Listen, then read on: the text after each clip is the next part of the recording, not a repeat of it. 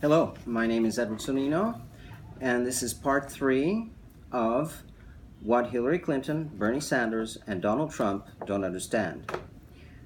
Part three deals with Donald Trump. Donald Trump, apart from his boorishness and sophomoric behavior, he doesn't understand two very important matters in economics. One, that trade with China and Mexico are not the reasons for our unemployment, though it may seem so on the surface. And two, that our budget deficits and outstanding federal debt are not a real problem, contrary to the views of conservative Republicans such as Paul Ryan. Were Trump to become president and try to shrink our trade deficit with China and Mexico through protectionism, our unemployment rate would actually rise even without a trade war, which would cause a severe recession. The reason shutting off imports from China, Mexico, and elsewhere would not solve our unempl- unemployment problem is that one, cheaper imports allow Americans to have extra money to spend on domestic goods and services. Two, many Chinese and Mexican jobs would not appeal to American workers. Three, the real cause of our unemployment has been bad economic policy, which has led to insufficient consumer income and spending. No matter what our trade deficit is, the proper stimulative fiscal and monetary policy can offset it. Enforcing trade agreements and fair trade, which Trump advocates, is necessary, but not through protectionism or trade wars. We would also slide back into recession if Trump were to try to shrink our budget deficits and federal indebtedness through a combination of higher taxes and spending cuts. Trump does not understand that what applies to business finances does not apply to federal finances. The reason being that the federal government, government can always finance itself, even through printing money, as it has with over $3 trillion of QE by the Federal Reserve, which has financed the budget deficits of recent years all by itself. The conventional wisdom that the United States depends on foreign capital to finance its budget deficits such as on Japanese capital in the 1980s and on Chinese capital more recently. That theory is an enormous fallacy. Amazingly, it perseveres even in the face of QE, which financed three years of our budget deficits. Since we have had the Fed, since we have the Fed and QE, why would we ever need foreign capital to finance our budget deficits or anything else?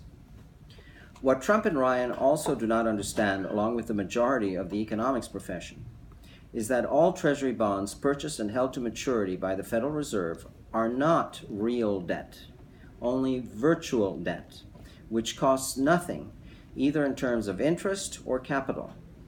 Since the Federal Reserve is a government agency, all the interest payments it receives from its Treasury bond holdings are returned to the Treasury annually and whenever a Treasury bond matures, the Fed returns the capital payment back to the Treasury. In effect, all Treasury securities bought and held to maturity by the Federal Reserve correspond to printed money, not to real federal debt. Importantly, as we have seen, so long as QE, that is printed money by the Federal Reserve, is not excessive, that is, it does not produce excess aggregate demand, it is not inflationary. Without the $3 trillion of QE to finance our recent budget deficits, we would have had a depression, just like Greece, which cannot do QE since it does not have its own national currency and sovereign central bank. The $3 trillion of QE after the 2008 2009 recession should make everyone understand that not only does the US not depend on foreign capital to finance its budget deficits, but that the US does not have a federal debt problem at all. We are not on the verge of insolvency, as Paul Ryan insists, and if, if we properly use QE, no federal debt will ever be passed on to future generations. In any case, Trump fails to understand that our budget deficits have been due to long recessions and high unemployment, which could have been avoided by, with a proper monetary and fiscal policy. Everyone agrees that the problem over the past five years has been insufficient consumer demand. That was due to insufficient personal income. So the obvious, straightforward solution would have been to increase personal income through a big tax rebate. That type of fiscal stimulus has been used in the past, most recently in 2006 under the Bush administration with a modest $600 rebate per taxpayer, and should have been used in the aftermath of the 2008 2009 crisis. Why wasn't it? especially when it could have been financed through QE, that is, through printed money by the Federal Reserve at no cost to the taxpayer? Had the $800 billion 2009 Obama stimulus consisted exclusively of a tax rebate, each taxpayer would have received a $5,000 rebate ta- uh, check. A family of two taxpayers would have received two checks totaling $10,000. That would not only have immediately stimulated consumer spending, ending the recession, it would also have stopped the housing crisis in its tracks, as families in financial difficulty would have had the means to keep current on their mortgages. Clearly, QE finance tax rebates should be our standard economic stimulus policy. Their proper use would prevent long recessions and high unemployment forever. Unfortunately, Donald Trump fails to understand QE and therefore has no solution for preventing long recessions and high unemployment.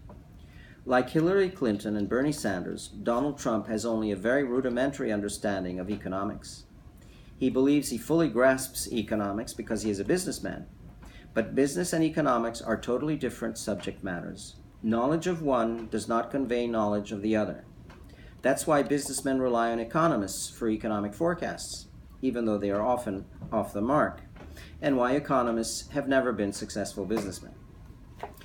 In foreign policy, Trump doesn't understand, along with short sighted isolationists, that when the United States is not continually and intelligently engaged in promoting democracy and human rights around the world, sooner or later we find ourselves forced to engage at a much higher cost.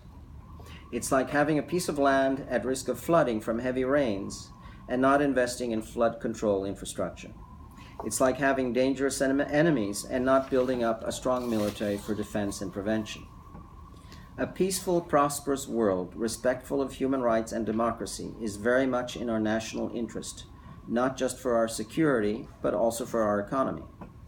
Just like Sanders, Donald Trump misses the point that the United States absolutely had to intervene against Saddam in order to preserve the United Nations' credibility after Saddam kicked out the UN weapons inspectors.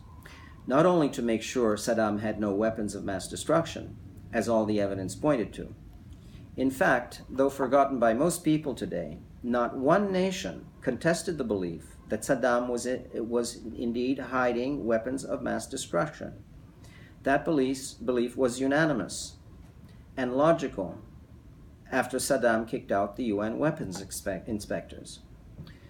Trump also doesn't understand, like Sanders, that we had a good chance of guiding Iraq into becoming a prosperous democracy, fully respectful of human rights, but failed mostly, if not entirely, due to the ignorance and incompetence of the Bush Cheney Rumsfeld administration. Trump, like Sanders, would show depth if he analyzed why we failed in Iraq with careful insight and rigorously logical analysis, instead of making the superficial claim that the intervention was a mistake simply ba- based on the negative results. Superficial analysis, which both Trump and Sanders engage in, is not the mark of a person properly qualified to be president. But Donald Trump is correct when he says the United States must, must increase its defense spending in order to be militarily dominant, and when he instinctively says there is a problem with Islam, contrary to, contrary to Hillary Clinton, who, out of ignorance, denial, or political correctness, stated that the San Bernardino rampage by two extremist Muslims had nothing to do with Islam. Clinton has obviously not read the Quran or studied the history of Islam and the life of Muhammad. Common sense leads to the conclusion that Islamic terrorism against infidels is based on the Quran, the source of Islam. Without the Quran, Islam would not exist, just as Judaism and Christianity would not exist without the Bible. Had the Quran not told Muslims that Allah only loved Muslims, had it not incited Muslims to hate, despise, torture, and kill infidels, Had the Quran not commanded Muslims not to befriend infidels, Islamic terrorism would not exist. So while Trump's instincts lead him to correctly identify Islam itself as being the problem, his not having read the Quran and not having studied the history of Islam and the life of Muhammad prevents him from finding the solution. What Trump, Sanders, and Clinton do not understand is that the solution for many foreign policy problems is to have the United Nations Universal Declaration of Human Rights strictly enforced. All member nations have signed it and are obligated to uphold and defend it. Religious discrimination is prohibited, and the end of Islamic terrorism depends on that realization by all Islamic nations and all Muslims. Indeed, the Israeli Palestinian conflict cannot end without that realization. The reason all land for peace negotiations have failed is that the Israeli Palestinian conflict is not essentially about land. Rather, it is about religious discrimination. In fact, would there be a conflict if the Israelis were Muslim, or if the Palestinians were Jewish, or if both the Israelis and Palestinians were all atheists? Of course not. The problem is that the United Nations has never strictly enforced the human rights obligations of its members. That is the first necessary step towards having human rights upheld and defended around the world. Additionally, the United Nations has never strictly enforced its own charter, which, which requires the respect of other nations' sovereignty. Russia's invasion of Crimea and of southeastern Ukraine is a flagrant violation of the UN Charter. Yet the United Nations has not reacted, not even publicly asked Russia why it did not apply for UN organized secession referendums in Crimea and southeastern Ukraine in order to have a peaceful, legal, democratic resolution of the issue. It is pain painfully obvious that neither Trump nor Sanders nor Clinton have ever read the Universal Declaration of Human Rights or the UN's Charter. That alone means that they are not qualified to be president. That alone means that they will be incapable of solving Islamic terrorism, the Israeli Palestinian conflict, and incapable of successfully dealing with the multiple violations by China and Russia of human rights and the Charter, not to mention by North Korea and Iran. Very sadly, the only logical conclusion is that all three of our major presidential candidates are unqualified to be president not having sufficient understanding of economics, finance, social, and foreign policy, and consequently not having solutions for the nation's problems. Strangely, we require doctors, lawyers, engineers, accountants, electricians, and airline pilots, for example, to demonstrate a certain level of knowledge and competence before practicing their professions. But we require no proof of a high level of knowledge and competence from our candidates for high office, for Congress, or for the presidency. That explains why we never solve our problems. That needs to be changed. Is it too much to expect of our presidents to be experts in their own right in economic, foreign, and social policy? If they're not experts in their own right, they won't be capable of properly analyzing and synthesizing expert advice from within their administrations and from the outside, and of coming up with solutions, as we've seen over and over. Thank you for your attention.